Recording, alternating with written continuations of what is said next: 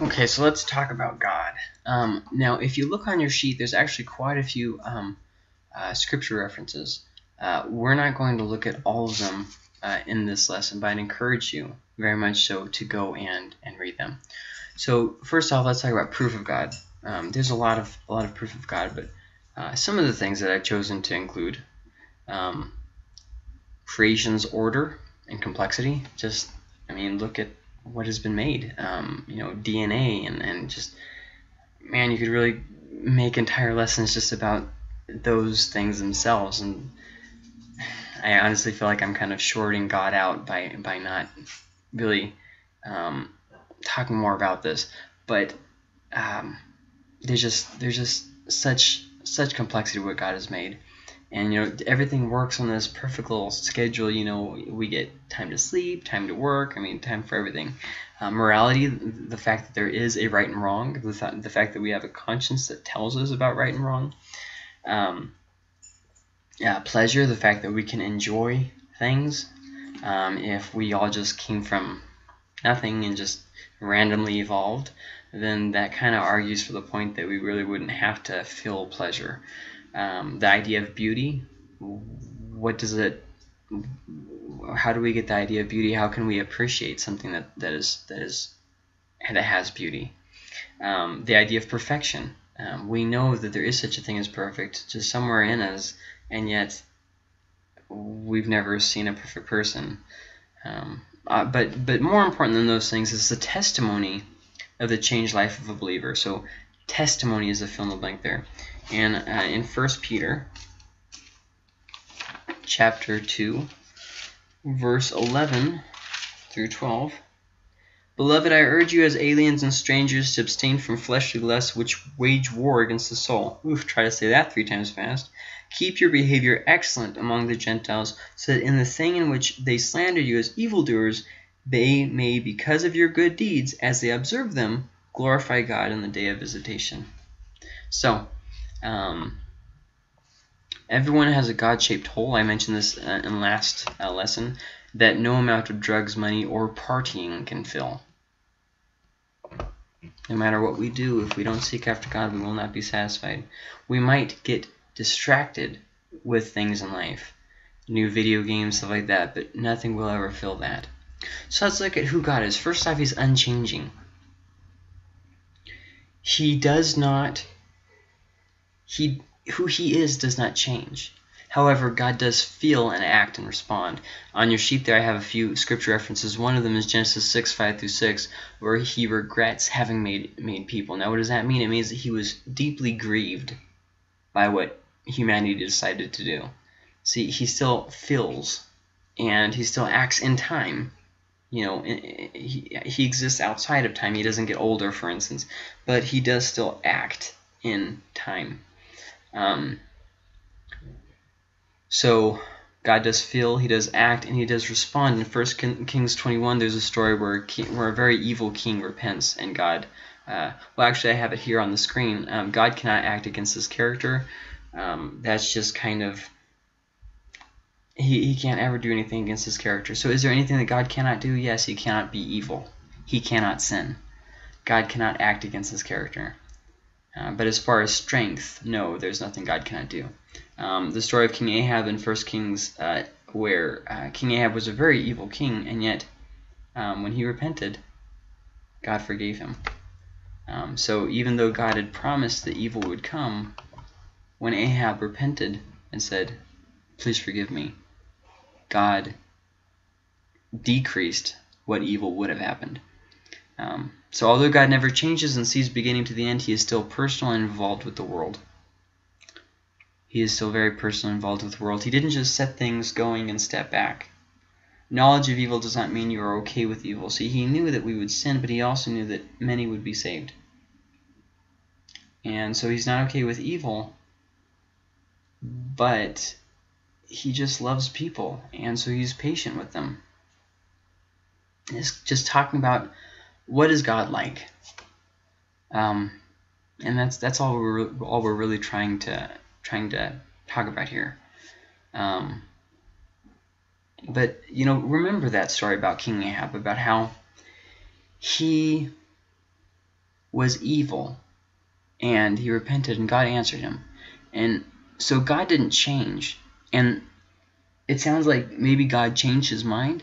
God changed what he was going to do according to what the situation called for. See, before Abraham turned, he was not forgiven.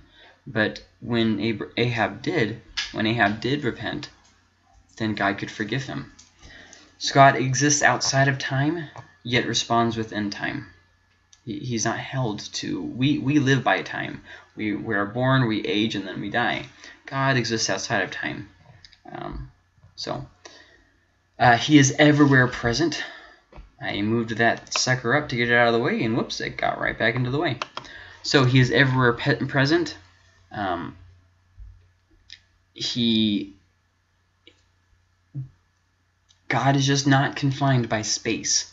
Like I have a phone. It is confi confined to a limited amount of space. But God is spirit, and he exists outside of the creation, which means he can be everywhere. However, there is a flip side to this. God does manifest himself at times. For instance, in Genesis chapter 2, it says that um, that God went away and Adam and Eve sinned and then God came back. Well, the manifestation of God went. God saw the whole thing. He was there. He just didn't manifest himself. So keep that in mind. He's all knowledgeable, yet may not make sense to us. See, the, because the truth is we're not all knowledgeable. And we don't always think and do what's right. And sometimes God does things that he understands that we don't. So just because it doesn't make sense to us doesn't mean that it wasn't the right thing to do. Um, other gods that have been created act according to human nature. If you look at ancient religions or you know Hinduism or whatever, other gods always act according to how people think that they should, and not even consistent with their own character. So with God, we really see something that's outside of what has ever been made up by people. Um, God is truthful, uh, whereas other gods uh, lie and deceive. Um, and I really haven't been reading any of these passages um, on your sheet there, the first fill in the blank is testimony. The, the second one is unchanging. Um, under under the heading God's character. The first one under the heading God's character is unchanging. The second one is everywhere present. The third is all knowledgeable, and then the third is truthful. Um, I, I, really haven't been turning to any of these passages because it just I feel like it would just take up a lot of time. Um, Numbers 23, verse 19 says, um, God is not a man that he should lie, nor a son of man that he should repent. Has he said, and will he not do it? Or has he spoken, and will he uh, not make it good? So, uh, God does not lie and deceive. Um, he can change his mind in the sense of responding to a situation, but not in the sense of lying. So I hope that that kind of makes sense. Um, he is faithful. Uh, all throughout the book of Numbers, the Israelites failed and abandoned God and kept sinning and, and so on and so forth, God didn't give up. That's that's faithfulness. Um, God is good. what that means is he is the standard of good. Everything he does is good because it's him. He's acting according to him. And his character doesn't change. Even when he gets angry, his character does not change. He is always him. And he always acts according to what is good and right, what is right. He never does anything that's not good. Um, he is the very standard of good. Just by being him, he is good. So if he chooses to act or not to act, it's good. And if he talks, that's good. See what I mean? So um, he is loving. If you look on your on your sheet, the one after good is loving. Good uh, good deeds do not earn God's love. He just loves, and he desires that everyone accept him. he, he, he desires for people. Um, Failure does not cause him to stop loving. If you mess up, God still loves. It's part of who he is. God knows what mistakes you will make, and he still loves. He sees ahead of advance. When you are apologizing to God and confessing your sin, he already sees the next time you're going to do it. And he still forgives you, and he still loves you. Wow. Keep that in mind the next time you get in a fight with your spouse. That is some powerful stuff right there. God is patient, uh, but that's not all. He's long-suffering. He's merciful. He's full of grace. He's righteous. He's all powerful. He's wrathful towards sin. He's completely separate from sin and imperfection. He's just. He's not far off, but not part of creation. He's not out there somewhere. He's made himself very close to us. And Jesus, and through through the birth of Jesus, he was God with us. Um, excuse me. But however, he's not a part of creation. He is separate from it. In the Hindu belief system, there's very much so. Well, I shouldn't I shouldn't specify because it's really a part of a lot of different um, religious other religions. Is the idea that you know there's there's God in everything or you know whatever. Um, so God has revealed all about Himself that He wants us to know in His Word. That's that's very cool. That's very cool that we can know about Him in His Word. Um, there's no new revelation God does not uh, has not given another Bible. This is the Bible. That's it. Um, especially not one that contradicts the Bible. Like for instance, you know, uh, Jehovah's Witness, Mormonism. Oh well, we have these you know special revelations and everything. That would mean that God is in essence not stable. Um, you know, I know, I know the Mormons, for instance, say, well, we got this revelation from angels. Well, Paul said in Galatians that if someone had special revelation, even if it was from an angel, that they should be accursed. So I don't think that that really, you know, has any leverage to it. Don't let people uh, persuade you to the weird stuff by their claims of dreams and visions and seeing things and Sometimes they just need to stop eating ice cream real late. So this is kind of how God works, okay? This is all time and space, everything that's been created, this line right here, okay? And here's the moment of creation, and here's the moment at the end where God will will just uh, destroy the earth by fire. We live somewhere, you know, somewhere in, between start and finish. Uh, but God, God is like this white all around. He exists outside of time and space. This is all the created universe, all history, everything. If you go out to the edges of space, it's still only within the confines of this single line. God is all this other bit. He exists outside of time and space. Um, so that takes us to the, more of the specific of the character of God. Um, God is what's called the Trinity. Now this gets confusing because this word does not appear in the Bible. The, Trinity, the word Trinity is not in the Bible. What it means is three unity. And it, the concept is taught in the Bible, but it's not really um, explained in an easy to understand way. For instance, the Bible says that Jesus is God. And it says that nobody has seen God but in the Old Testament, it says when people see God. So we know that they saw Jesus in the Old Testament, but not God the Father. Okay. We also know that the Holy Spirit was seen um, in form like the holy, like a dove, uh, when Jesus was baptized. So we know that he's talking about God the Father. No one has ever seen God the Father. Um, three, uh, basically, what the Trinity is is three persons in one essence the fill in the blank there is essence. If you read in Genesis 1.26, it says about how then God said, let us make man in our image. So there is definitely a, a multiple aspect. Okay, now does that mean that there are three different gods? No. So all three of these, whatever you want to say, are distinct. There is Father, there is Son, and there is Spirit. Okay? Now the Father sent the Son, and the Son sent the Spirit. The Father did not die on the cross, and you see what I mean? So there's that. Um, there are not three gods but one. Okay, we only get little glimpses of it from the Bible, so it's it's something where we'll understand when we get to heaven. But in this life, it's not something that God bothered to explain in a way that we could understand. And that's that's hard. Because if you're like me, you want to just perfectly understand the Trinity, but it's not that simple. People have said, okay, it's kind of like an egg. You know, you've got the shell and the white and the yellow. Well, yeah, except that each of those individual parts in the egg have to com compose the entire egg. the yolk would have to be the entire egg, the same as the shell would have to be the entire egg, but it's not. It's the shell and the yolk, and you know, so it's not the same. Um,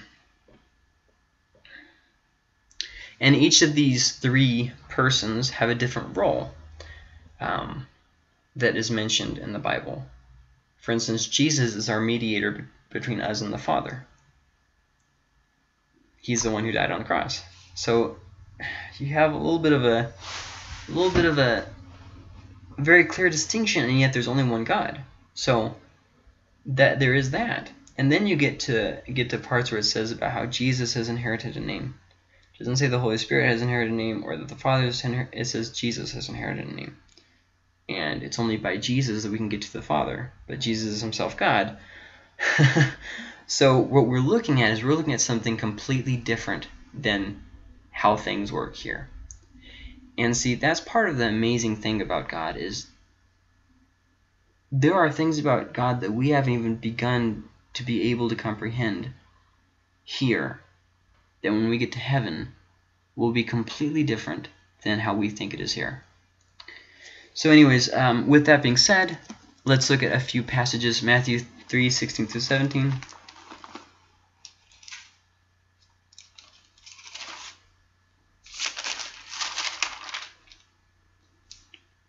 After being baptized, Jesus came up immediately from the water, and behold, the heavens were open, and he saw the Spirit of God descending as a dove and lighting on him. And behold, a voice came out of the heavens, said, This is my beloved Son, in whom I am well pleased. So here we have the three persons of the Trinity, um, all in one place, all revealing themselves in a different way. Jesus as a man, the Holy Spirit as a dove, and God the Father as a voice. Um, Okay, so I already mentioned there are three. There are not three gods, but one God. In Matthew 28, 19 through 20, for instance, he talks about um, how uh, in the name of the Father, the Son, and, and the Holy Spirit, um, clearly saying that there are three, but still only one God. Um, in Isaiah 45, now this one I do want to read. Isaiah chapter 45. I know I've skipped over a lot of the passages, but um, I really, really, really want to encourage you to read them. Uh, Isaiah 45, 5 through 7.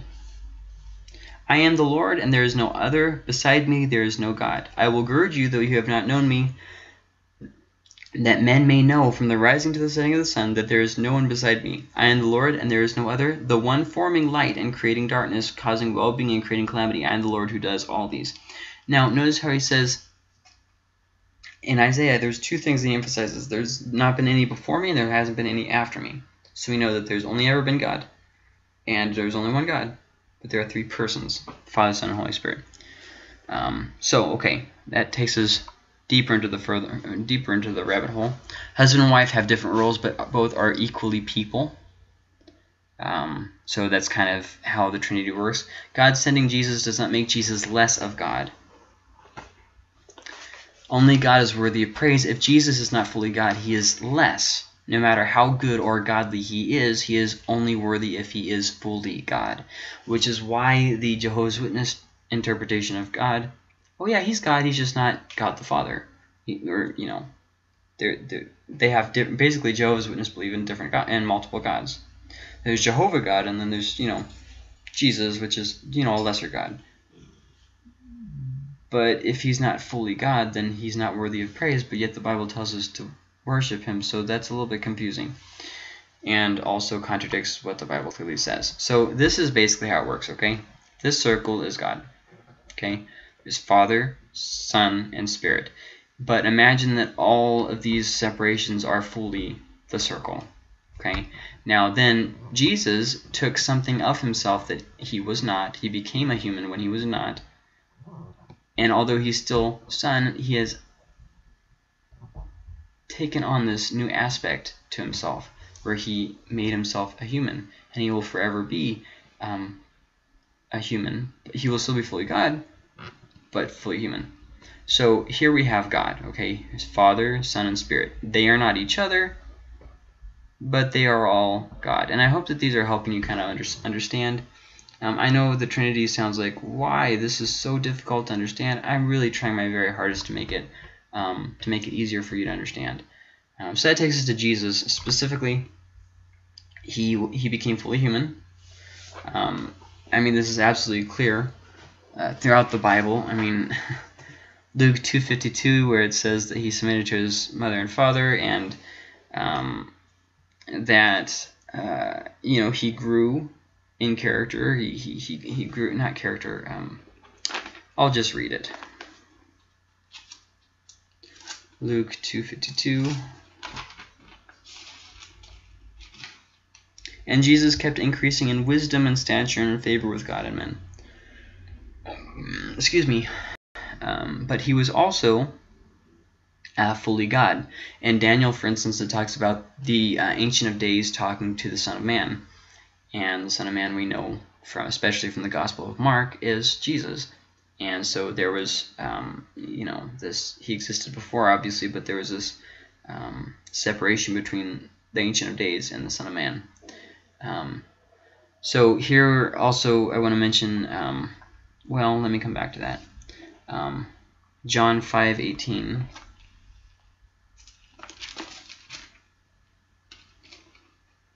For this reason, therefore, the Jews were seeking all the more to kill him, because he not only was breaking the Sabbath, but also was calling God his own Father, making himself equal with God. See, it was only um, they would have only tried and killed him if he was trying to make himself out to be God, and that's exactly what he was doing. So we know that God was not. Uh, hold on, let me let me not get ahead myself. Okay, so he was fully human, but also fully God. Well, how could it be fully human if he was fully God? There's just certain limitations that we just our minds are not able to understand, and even if we were, were able to understand it, the English language is not able to convey it anyways. Um, so let's see. Did I miss any fill in the blanks? No, I did not. Um, so that takes us to the third thing there, and this is a fill in the blank, not created. He was not created. John 1 1 says, In the beginning uh, was the Word, and the Word was God, and the Word was, I'm sorry, and the Word was with God, and the Word was God. Um, now, this is a bunch of really specific stuff that you don't have to get yourself worried about, but more of the story being the Jehovah's Witness claimed that it should be translated and the word uh, and the word was a god. First off, this is disproven by other bits of scripture, so we know that that's not true, because then there would have been other gods or another god created afterwards or whatever. Um, so it says very clearly, and the Word was God. And so we know that it's not was a God based off of the way that those uh, words function in that sentence. It's, it's a long story. Um, I don't want to bore you with Greek. Um, I love ancient languages, but I mean, this isn't a class on the love of ancient languages. In John 3.16 it says, For God so loved the world that he gave his only begotten Son, that whoever believes in him shall not perish but have eternal life. What begotten means is special or unique. It does not mean only created. And the Jehovah's Witness teach that it means only created. That's not true. It's only begotten means special or unique. Um, in Hebrews 11:17, for instance, uh, it says that Abraham's son Isaac, um, I think I said that right yes, was his only begotten son. But the truth was, he had sons after Isaac, and he had a son before Isaac named Ishmael. So we know it wasn't his only begotten. What that means, though, is Isaac was his special son, his unique son, the one that inherited uh, the blessing. Um, so what does this look like? It looks a lot like this, okay? Jesus is God, has always existed. Okay? Now, when it was time for Jesus to be born, the Holy Spirit miraculously caused a baby to be um, placed in Mary's womb without sex, without sexual intercourse. God did not have sex with Mary. He caused something to be where there was not. And uh, Jesus was born of the Virgin Mary. Now, then, when he died, he was resurrected and lives now in heaven at the right hand of the Father. So, there was never a time when the Son was not the Son. So what does it mean that God was born? Um, oops, sorry, pushed the wrong button there. Man, oh man. Sometimes I swear I'm just not really capable of, of, of handling technology very well. Um, what it means is that um, Jesus was became a human. So he was born. He was a son of God and son of man. In other words, God caused God the Father caused the Son to be born as a human. Therefore, he was the Son of God. He didn't always exist as the Son of God, but he became the Son of God. Does that kind of make sense? The reason why we refer to him as the Son of God before he was actually born by the Virgin Mary is because it's easier to differentiate him. But how the Old Testament talks about him before he was born of the Virgin Mary, it calls him sometimes it calls him uh, the angel of the Lord. Um, sometimes it just calls him God. Um, it, it just refers to him in different ways like that. But long story short, Jesus was not created, and there was never a time when he was not who he is. Um, he is subordinate but not inferior to the Father. There's an authority thing that goes on where he submitted himself to the Father, but he is not less of God than the Father, just as the Holy Spirit submitted himself to Christ. So, becoming what he was not, he remained what he was. In other words, here he is God, but he became what he was not, fully human, and yet he didn't cease to be God. So Jesus is our example. Um, he died in our place. He's our priest who reconciles us before God. He's our mediator. He stands between us and God. Um, so let me read a few passages. The first is in John chapter 10, uh, verse 18. No one has taken it away from you, but I lay it down on my own initiative. I have authority to uh, uh, to lay it down, and I have authority to take it up again. This commandment I received from my Father. And then in Romans 8:29, it says, For those whom he foreknew, he also predestined to become conformed to the image of his Son, so that he would be the firstborn among many brethren. See, God was resurrected. Jesus was resurrected first, and we will be resurrected um, in the future. So, I think that clears up Jesus. Now, about the Holy Spirit, especially in our community, there's this idea that the Holy Spirit is not God, it's just the power of God. Let's just uh, look at that. It's not just God's power. Uh, if you look on the sheet, I have listed some verses that clearly talk about God being, and the Holy Spirit being a, a person and being God. Um, in Acts chapter uh, 2, no, no, no, no, 5, verses 1 through 4. But a man named Ananias with his wife Sapphira sold a piece of property and kept back some of the price for himself with his wife's full knowledge, and bringing a portion of it, he laid it at the apostles' feet. But Peter said, Ananias, why has Satan filled your heart to lie to the Holy Spirit? To lie to the Holy Spirit, an essence, okay, now hold on and to keep back some of the price of the land. While it remained unsold, did it not remain under, uh, under your control? Why is it that you have conceived this deed in your heart? You have not lied to men, but to God. Therefore, calling and calling the Holy Spirit um, God. So, uh, goosebumps are not necessarily necessarily the sign of the Holy Spirit. Sometimes we have it in our head that if I feel something, that means the Holy Spirit. You know, if I feel tinglies or if I just feel something, if music moves me or if a movie moves me, that's the Holy Spirit. Well, no. Goosebumps are not necessarily uh, a sign of the Holy Spirit. Sometimes something just moves us. Um, the Holy Spirit brings us to salvation. He works in us before we're saved to, to kind of try and soften us and draw us to God. Uh, he causes our spirits to be reborn and grow. Um, oops, move this. There we go. Um, he, you know, spiritually speaking, he gives us power to witness um, when we feel nervous or whatever. He tell, he gives us the words and he, and he helps us to be witness for God. Um, he is the one who gives us power to glorify God. He's the one who comforts us. Um, he's the one who, who uses us, gives us the gifts of the Spirit and the fruit of the Spirit and that kind of stuff.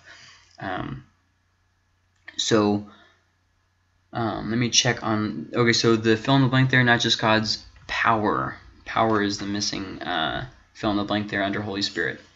Um, born and grow gives us power to witness the glorify God. Okay, so then I have some passages there um, for you to read. 1 Corinthians 12 talks about uh, the gifts of the Holy Spirit. Uh, Galatians talks about the fruit of the Spirit. Um, and Acts 2, 1 through 4 talks about the Holy Spirit coming down in power um, on the uh, disciples. Um, okay, so uh, what is the evidence of the, of the Holy Spirit moving? if people have a renewed focus on God and His kingdom and living His way. God will see. God will not contradict His word. Sometimes people say, "Oh, the Holy Spirit moved," and yet I have this revelation that goes against what God said. Oh, I have this message from God. You know, He said, "Hey, you need to do this thing," and it's like, that's not what the word says. So the Holy Spirit won't go against what this says. Sorry. Uh, the Holy Spirit won't go against what the Bible says. Um, and so when the Holy Spirit is moving, it will cause us to want to seek after God more, to want to get to know Him more. Um, if the Holy Spirit is just gives you a tingle on a Sunday and then you leave, maybe it's not really the Holy Spirit. Um, now, I do want to say, I don't know if this is uh, anywhere else in this um, class, I, I, I kind of forgot, but the only sin that is mentioned in the whole Bible as not forgivable is the sin of blaspheming the Holy Spirit. So, um, what exactly is that? Well, we might look at that in the future, but the idea here being don't make fun of the work of the Holy Spirit and don't make fun of the Holy Spirit. And just remember that. So, uh, so okay, as far as God's name, some people have different ideas about God's name. Uh, his basically his name is Yahweh. We don't exactly know how it's pronounced, um, but long story short, that's it. And it basically means I am, uh, or or I am that I am. Uh, God's name is his reputation and character. For instance, Jesus' name is Redeemer, because he redeems his people, and his name is Savior. See what I mean? God's name is his reputation, and it is his character. God's name is good, because he's good. Um, he's healer, he's redeemer, he's savior, he's good. Um, but then the specific name that God gave was Yahweh. Um, oftentimes in the Old Testament, uh, God was called um, El or El Elohim, which basically just means God. Um, it's just a general term. Um, but the specific name that he gave was Yahweh. Now, some people think, well, what about Jehovah? Jehovah is what happens when Yahweh goes down through Latin and into English but the Bible was written in Latin. Um, and so assuming that God's name is Latin is just completely historically false. Um, okay, so if there are any questions about this lesson, uh, please uh, please feel free to ask it. I'll answer um, any that any that come across. Um, the next lesson we'll be talking about finances, maybe a little more practical um, than the start of this this course. And so the rest of the lessons will be more about practical application. Um, and uh, so just remember to, to study those, those verses that were listed on your sheet.